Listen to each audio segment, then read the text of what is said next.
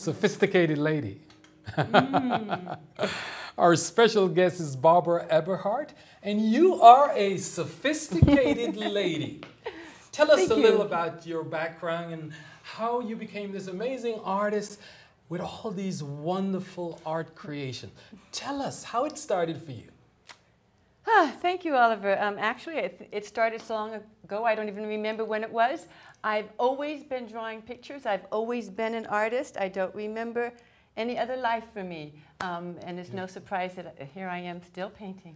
Ah, you must love what you're doing because when we look at your paintings, we feel this sense of uh, peace and love and all the good things that when you view a painting, it almost comes alive for us. Um, you paint flowers, and one of the things we like to put out very early in the show because people are, when they see flowers, they think botanicals. What is yes. different about your painting? Thank you. Yes, botanicals. Botanicals are beautiful. Um, in the olden days, before they had cameras, um, people would go and, and uh, discover new worlds, and they would have new foliage, and they would bring artists that would draw them, so they could come back to um, America or wherever and say, "This is what an orchid looks like." Wow, that, we've never seen that before. That's not why I paint. That's not why I paint. Um, it's not just to show what a flower looks like. It's all the meaning and the love and the philosophy, if you will, my message. It's behind it. And it's so important that we talk about your message when we look at Mm. your paintings because people tend to kind of glaze over when they see flowers. Oh, yeah, beautiful, next. Thank but you. your art keeps you there for a moment. It makes you think, it evokes feelings, it Mm. makes you get excited, it mm. makes you curious, it makes you want uh, excited. That's why. Thank you, thank you. And so that's why we wanted to take the time to bring your paintings to Santa mm. Barbara so we can share it mm. because it does so much for somebody when they watched it. Let's start with your first painting because we chose this one because it says a lot. Thank you. Yes, um, this is the peace dove over the globe, the world. Um, basically, it's the way I can create peace on earth. Um, it was a design that um, my daughter and I put onto the I Madonnari mission floor this, this particular last year. Um, I was delighted. Um, I represented Unity of uh, Santa Barbara. And just the whole idea of somehow creating that I feel that peace is what's important. And when you look at this, hopefully you'll get that feeling of peace. Whew, peace is so important. Did you feel that that uh, is evoked in this painting and why?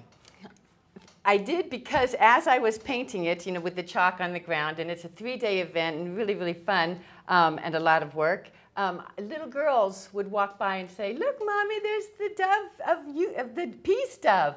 You know, they, they, they got it. You know, children did, um, grown-ups did. It's like, oh, there's the peace. So yeah, I could see that people walking around were saying, "We like it, we like it." It gives us a good feeling, and that's what I want my art to do. This painting is evolving to be on a T-shirt. Tell us a little about that. How that came about. Yes, it, it will. Um, I had created T-shirts for um, Unity of, of Hawaii, and um, in fact, uh, the same design was um, throughout America in, uh, in their T-shirts that we um, created as a fundraiser.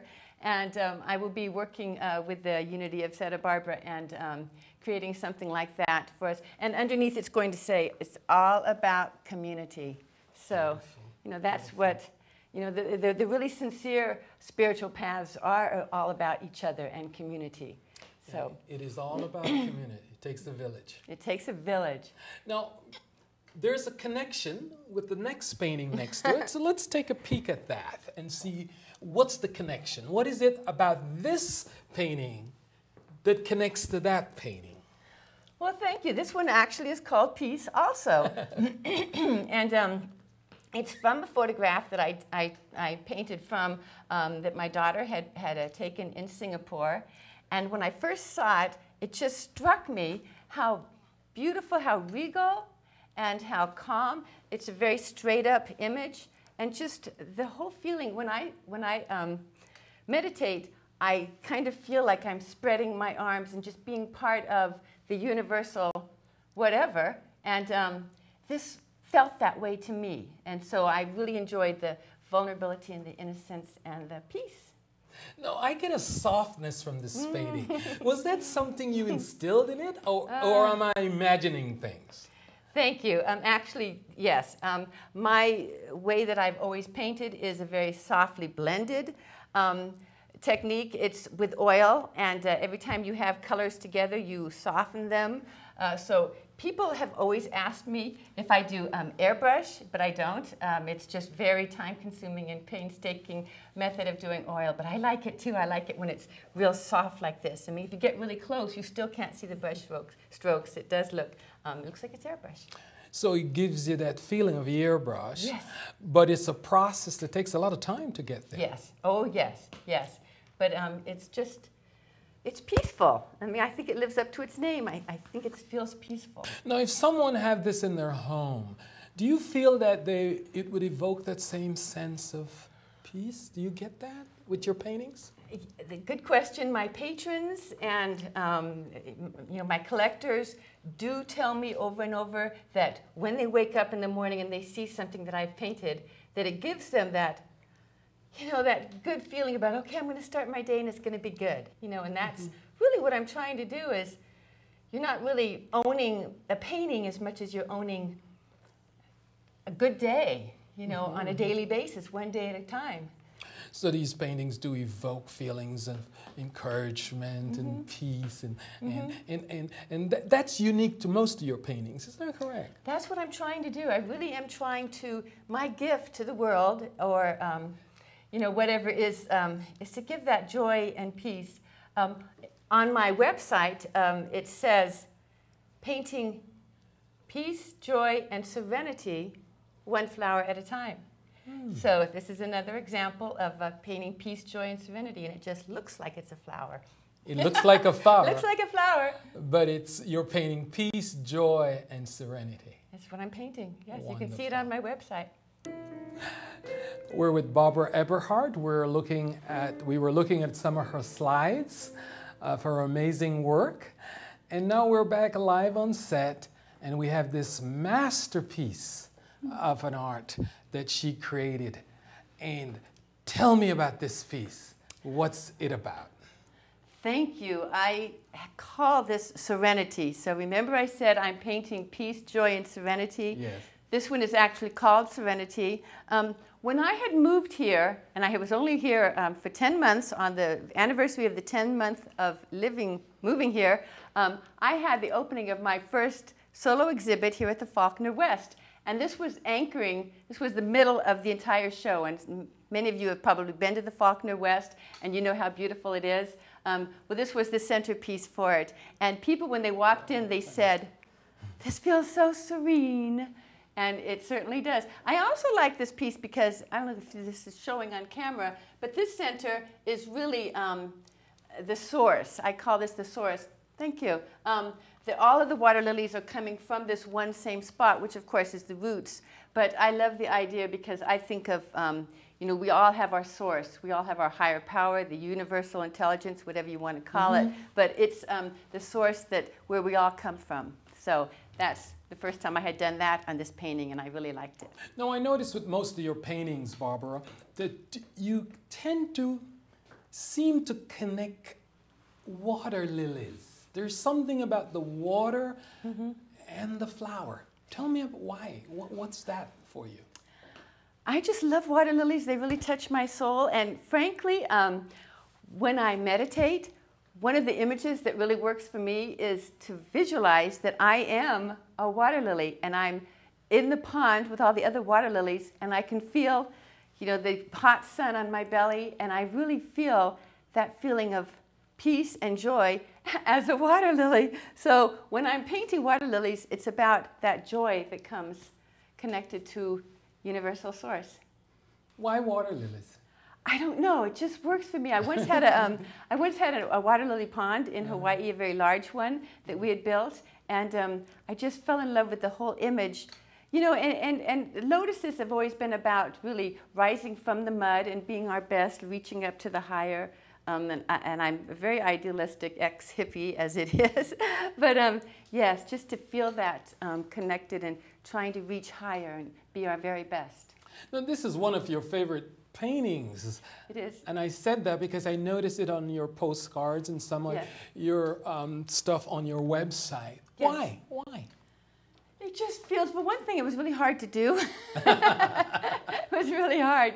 Um, I had taken so many uh, water lily photos at um, um Lotusland, and I just really wanted to create this feeling of the serenity and the joy and the colors from Santa Barbara.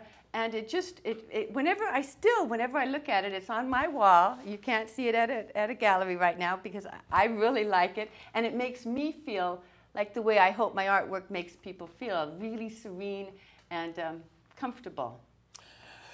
Do your artwork hangs in people's homes? Oh, yes. Oh, yes. Oh, yes. Yes. Um, I have a patron in uh, Hawaii right now who has, I think the last count is 27 of my originals, Oh. And many of them are very large. Um, so he's, um, yeah, He collects them. he collects them, and um, thank God his wife loves my art too because um, they, they really, it's, it's beautiful to walk in there and, and it feels um, serene. Wonderful. I'll play some music for us so we can feel serene, like Barbara said. I'm loving the music.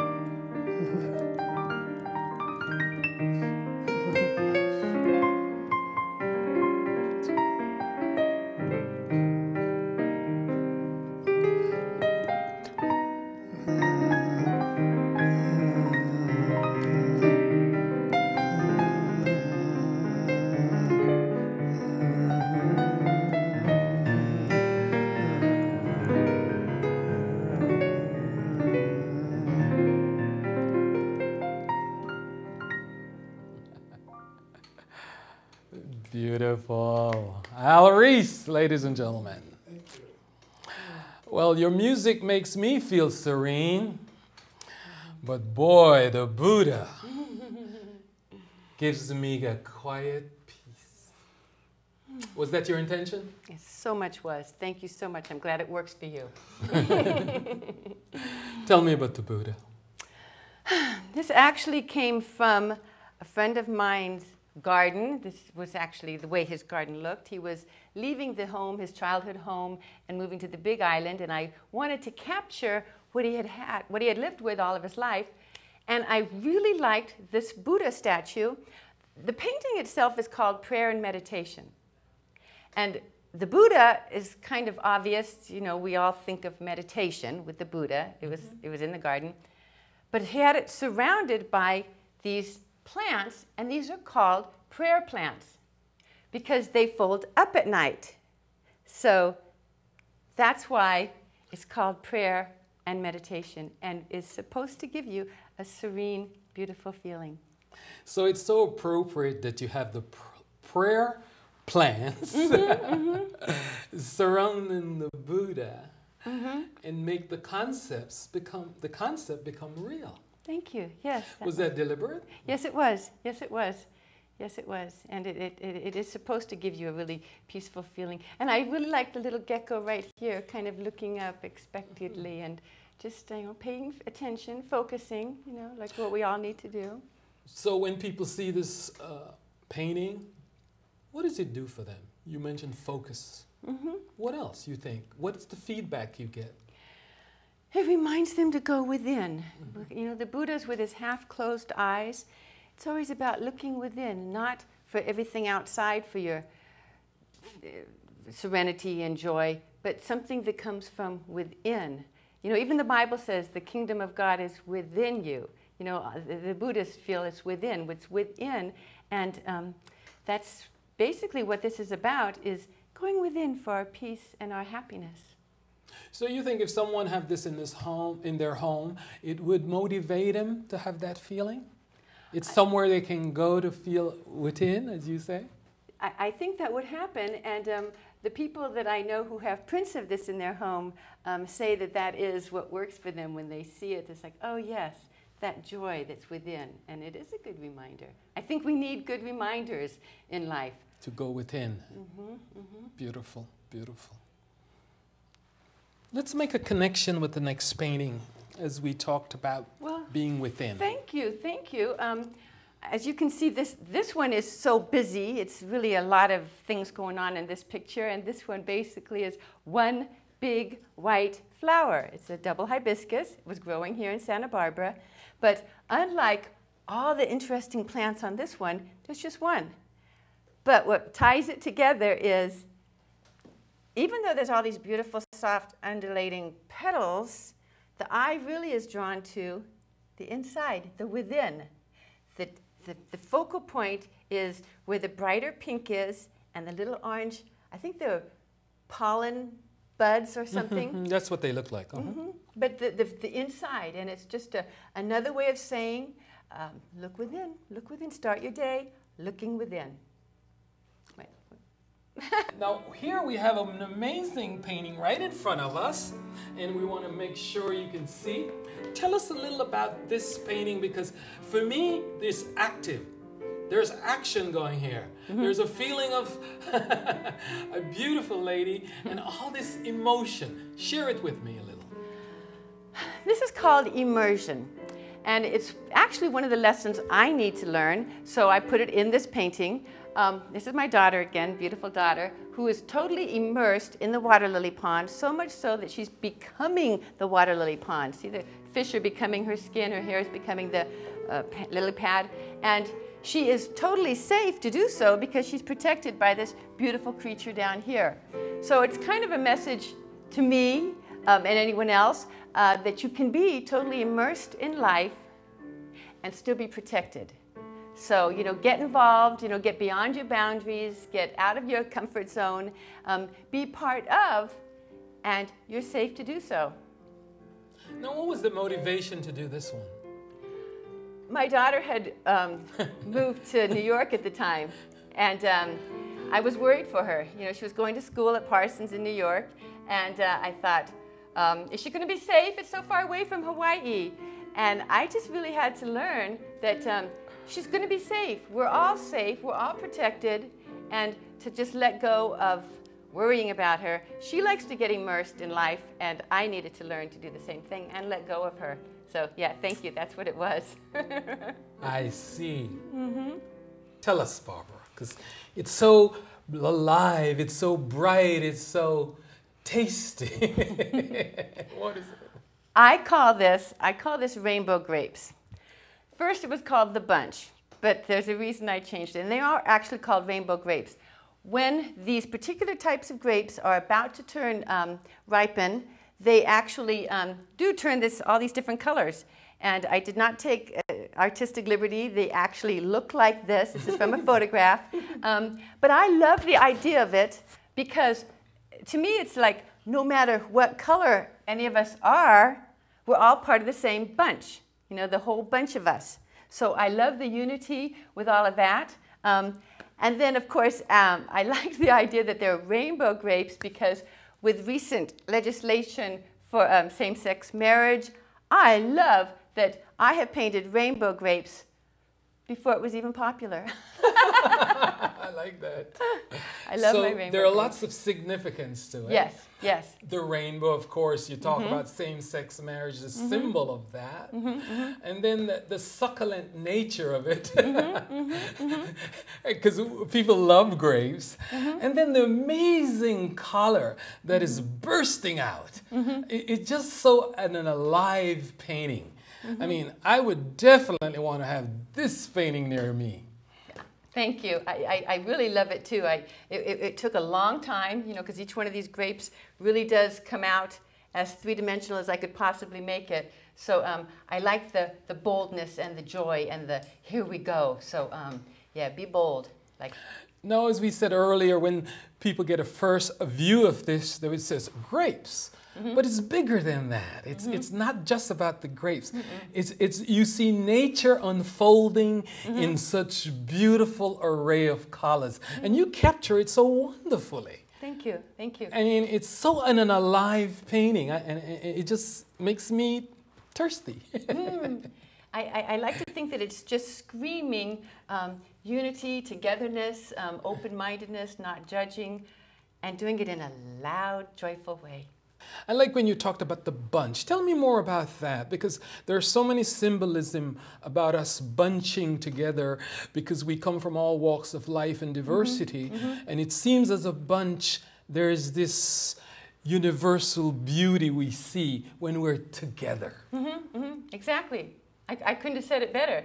Um, that's exactly how I feel, exactly what's important to me. Um, my, my goal is that when you would look at this painting, you would feel that unity. We are all on the same bunch of grapes together.